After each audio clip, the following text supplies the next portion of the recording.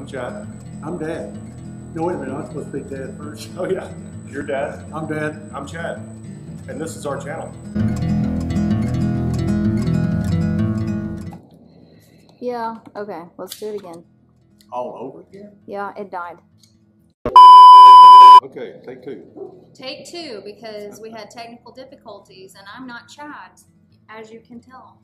Oh, anyway, this this is something that, that I got confused doing. Again, I've said it once, I'll say it again. I read these regulations, I get sleepy. But I did reserve my number, that my N number for my airplane. That's the first thing you want to do. Go online and reserve your number. You'll get a letter of confirmation from the government reserving that number for one year. Then we sent a letter in. We did. So when we got the confirmation that the reservation of the N number was actually official, they gave you some more information in that letter to then further get that N number actually assigned to a plane. So it asks you to send a written request of approval of assignment of your actual N number, which you will include in your letter. You will give the type of aircraft, which is the American STOL home built aircraft. You'll include the manufacturer, which is RANS Designs, and you'll include the model S21 outbound and then the serial number of your plane. You send that with, I believe, a $10 check, and we mailed this off on June 17th, and we received a response back on June 28th, which was pretty crazy how quick it got back with us. Which is the way you hope it would be. Yes, but if you were to just go on the website, Federal Aviation Administration, it is super confusing and the steps in order of what you need to do. So next step, after you get that N number reserve, you need to ask RANS for your bill of sale because your purchase order is not going to be enough to satisfy the federal government that you have a plane and then it's put together. So you want the bill of sale from RANS. They may say, hey, you don't need that yet. Say, no, I'd like it. Go ahead and send it to me. Because time slips away from you real fast. Absolutely. And you can't speak to a live human with the federal aviation, unfortunately. So that makes this process even more challenging.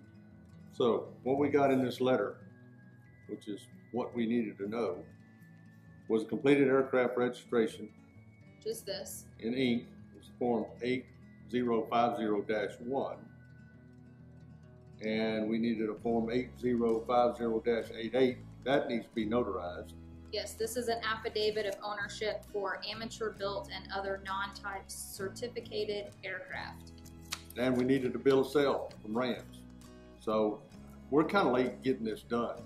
I registered, I received uh, confirmation of reservation back in November. So time slips away from you, as we've said before. So you needed to get this done as quickly as possible. We're about to send all this in. So those of you that don't know how to do it or never done it before, like me, I've never done it before. I know how now, but uh, with a lot of help. Yes, I'm behind the scenes. Yeah.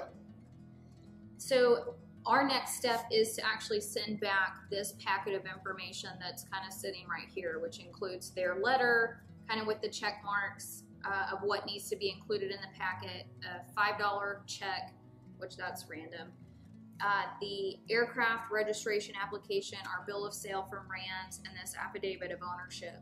And we're also including because the letter that came back from the Federal Aviation Administration was a little unclear as to whether or not the N number that he reserved is actually going to be granted to their plane.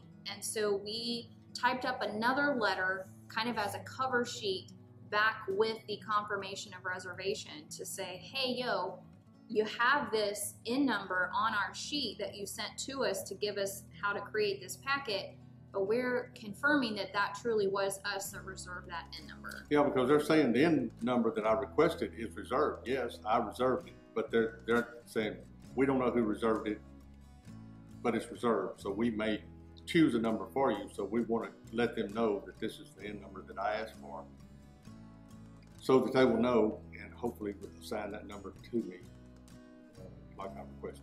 Yes. So if you have questions, I'm sure you do, if, especially if you've never done this process. It's fresh on both of our minds.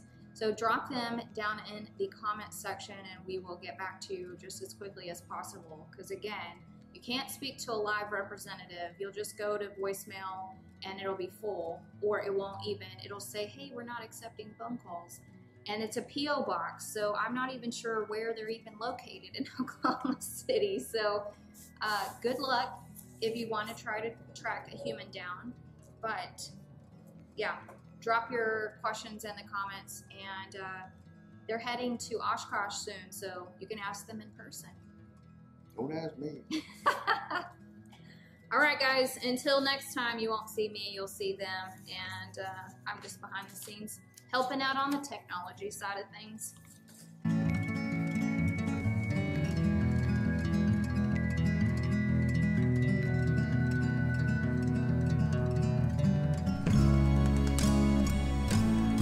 Hey guys, thanks for watching another episode of Dad and Chad. If you like this video, share it with your friends and give us a thumbs up And never miss an episode of Dad and Chad by hitting that subscribe button. because we'll be back next Tuesday with another episode. Thanks again for watching Dad? and Chad.